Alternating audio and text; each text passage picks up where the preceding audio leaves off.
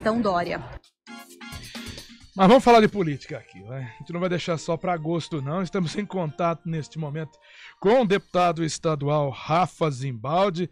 A gente Tava tudo marcado para ontem, né, deputado? Mas teve um terremoto atingindo o Palácio dos Bandeirantes, a Assembleia Legislativa. Me conta um pouquinho desses bastidores desta quinta-feira envolvendo João Dória, Rodrigo Garcia e todos os aliados. Bom dia, Paradela. Bom dia a todos os ouvintes da Rádio CBN. É um prazer novamente estar com vocês. Pois é, é, é Paradela, foi, foi uma surpresa, logicamente, né, essa possibilidade da não renúncia do, do ex-governador, agora João Dória, né, é, até porque existia toda uma expectativa em torno já do trabalho do, do atual governador é, Rodrigo Garcia. E lógico que isso, é, isso foi algo que preocupou toda, todo, todo o trabalho político, né, sendo que nós estamos num, num ano eleitoral e sendo que o dia de hoje, o dia primeiro, é o dia que, que todos os, os, posicionamentos, todas as pessoas que precisam se descompatibilizar ou precisa até mesmo fazer, uma, fazer uma troca de partido, é, o dia limite é o dia 1 de abril. Então, portanto, houve aí várias conversas ontem e nós participamos de algumas delas, nós tivemos lá no Palácio dos Bandeirantes, mas é, acabou dando tudo certo. Hoje, nosso governador Rodrigo Garcia dá sequência um trabalho muito importante de investimento e, principalmente, o momento que nós vivemos é um, um momento que os municípios né, e, e a nossa região de Campinas, Campinas e região metropolitana, precisa ser reconhecida por aquilo que significa economicamente ao Estado e também ao Brasil, para dela. Por isso, nós estamos sempre aí, como deputado, como representante de Campinas e região, cobrando é, o governo do Estado para que leve esses investimentos para a nossa cidade e região. Deputado Rafa Zimbal, em determinado momento ontem, com toda essa confusão criada, se ia sair, se ia ficar o governador João Dória, rompimento ou não com Rodrigo Garcia, se falava até que aliados de Rodrigo Garcia poderiam até pedir o impeachment de João Dória, o governador então, se ele ficasse no cargo. Chegou a ter essa conversa mesmo, ou pelo menos esses rumores na Assembleia? Eu não presenciei isso, viu, Paradela, que também, né, como, como o Rodrigo, né, nosso governador Rodrigo Garcia disse, existe muita especulação, né, principalmente especulação aí é, é, por parte daquelas pessoas que não querem, não, não queriam ver o circo pegar fogo, né? Mas não teve, não teve nenhum, pelo menos eu não presenciei nenhum tipo de conversa nesse sentido.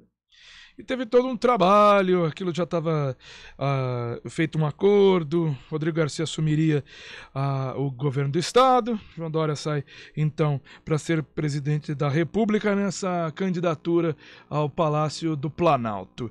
Mas isso que aconteceu ontem mancha as duas candidaturas? Tem algum um significado eleitoral para esse momento? Você acha que Rodrigo Garcia sai meio que enfraquecido depois disso tudo? Eu não acredito, Paradela. Lógico que né, é, as decisões políticas, toda, toda, todo o posicionamento político, né, seja do político A ou do político B, isso reflete nas, nas eleições. Né? Mas eu não vejo isso como positivo, como negativo. Foi uma, uma situação né, de discussão acalorada, que o ex-governador queria uma garantia da legenda dele para candidato a presidente, mas é uma, é uma discussão interna do partido que não poderia ser colocada a público, ao meu ver. Né? Mas, enfim, aconteceu e, e, e tudo se resolveu, a decisão do ex-governador foi, foi tomada e vamos em frente. Agora é olhar para o futuro aí do nosso estado de São Paulo. Entender também agora essa política regional, essa política estadual, porque o senhor mesmo citou, chegando agora dia primeiro limite aí para essas mudanças, pessoal tendo que deixar cargo ou tendo que deixar partidos. É o caso do senhor que deixa o PL, o PL que é o partido do presidente Jair Bolsonaro, e agora migra para o Cidadania. Por que dessa mudança?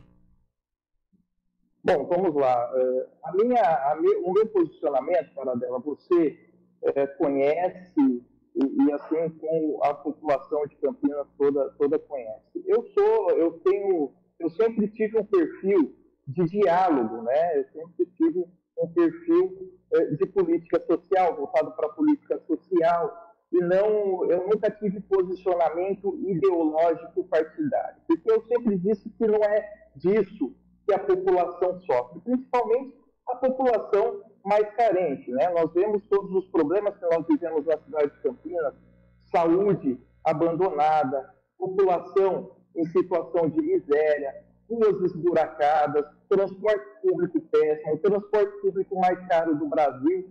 Ou seja, eu sou uma pessoa de diálogo que procura construir. Então, não é contra é, o, o, presidente Bolsonaro ou contra o presidente Lula ou contra qualquer pessoa. Né? É, a única coisa que eu não tenho é uma ideologia é, partidária, mas sim o Cidadania me ofereceu condições de exercer o meu mandato de forma independente. Quero aqui agradecer né, o nosso presidente estadual, o deputado Arnaldo Jardim, né, que fez esse convite, acreditou nesse, nesse, nosso, nesse nosso trabalho.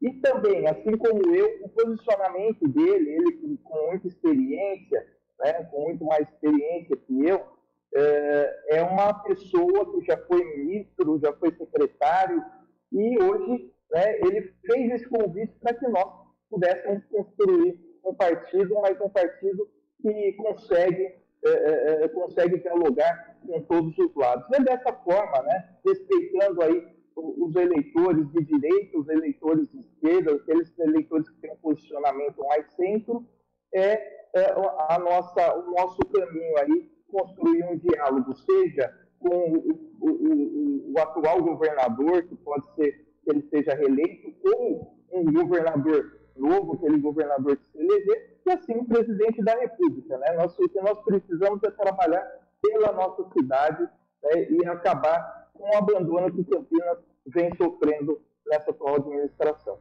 Mas vamos lá.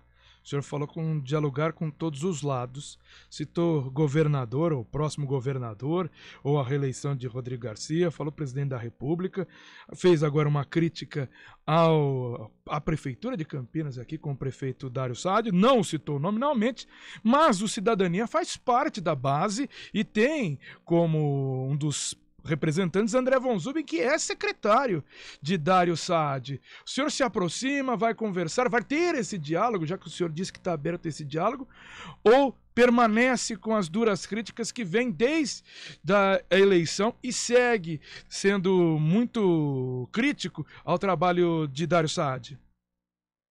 Para dela, eu, eu me posiciono de forma independente. Como eu disse, né, a minha, a minha, o meu trabalho, o meu posicionamento político é sempre diálogo. Aliás, quando eh, eu tive a oportunidade de falar com o, com o atual prefeito, eu sempre me coloco à disposição. Mas o que me incomoda muito é ver a situação que a cidade está. E eu não posso né, concordar com esse tipo de coisa. Ontem nós, nós vimos, por exemplo, a população do centro de saúde da região ali do São Quirino reclamando e posicionando a falta de médico, a falta de enfermeiro, a falta de remédio, e a população ali vem sofrendo. Então, não é, é o diálogo está sendo feito. Eu sou deputado de Campinas, eu sou deputado que mais mandou recursos para a cidade de Campinas. E continuarei mandando. Foram mais de 120 milhões de reais que nós mandamos para Campinas e para a nossa região.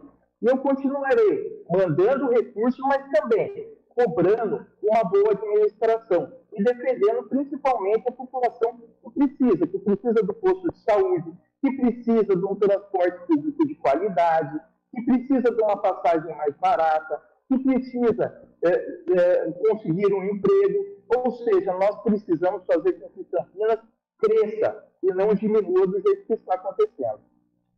E para a gente finalizar, deputado, agora no Cidadania, o senhor parte para uma reeleição à Assembleia ou pensa no Congresso?